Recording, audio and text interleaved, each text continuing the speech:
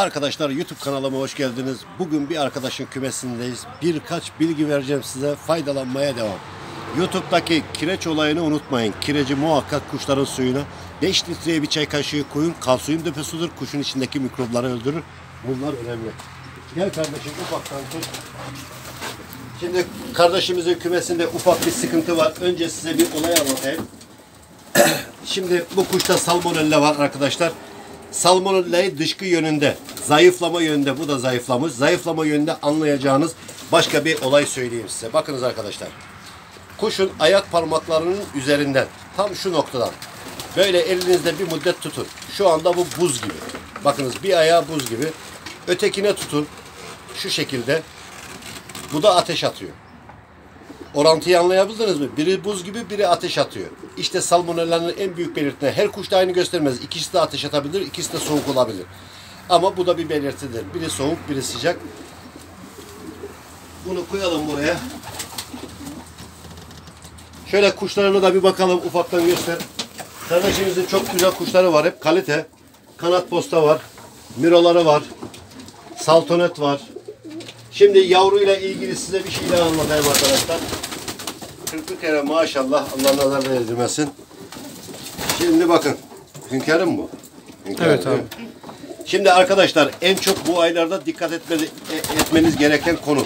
Hani diyorsunuz ya Topka'da yavru bir anda öldü. Şimdi arkadaşlar her şey salmonella ölmek değildir. Şu kursağını yoklayın. Eğer kursağında yem taş gibi duruyorsa, içinde su yoksa bilin ki kuşta ya kursak iltihabı var ya da kursak mantarı var. Onun ilacı neydi tanıttım size? Nidazol şurup. Onu öyle yapacaksınız. Yani her kuş eee salmonella'dan ölmüyor. Eğer bu kursağı düzgünse, suyu yemi yerindeyse, ölüyorsa bu hayvan kurumaya giriyorsa o zaman salmonella'dan huylanabiliriz. Ama her şeyde de salmonella'ya bağlamanın hiçbir anlamı yok arkadaşlar. 41 kere maşallah tipe bak ya. Tipe bak. Her şeyin küçüğü seviliyor ya. oy oy oy oy. Gelin dudaklarınıza. Hey maşallah.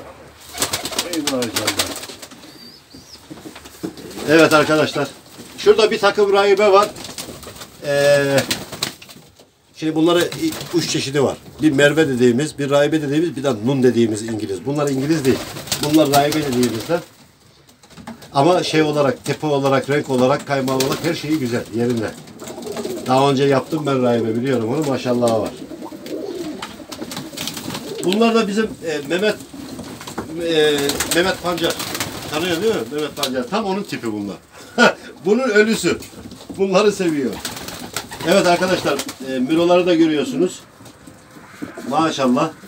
Mirolar da çok güzel. Saltanetler var. Saltanetler orada. Yavru alabildin mi onlardan?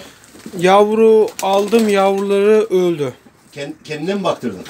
Hayır başka baktırdım ama öldü. Allah. Evet.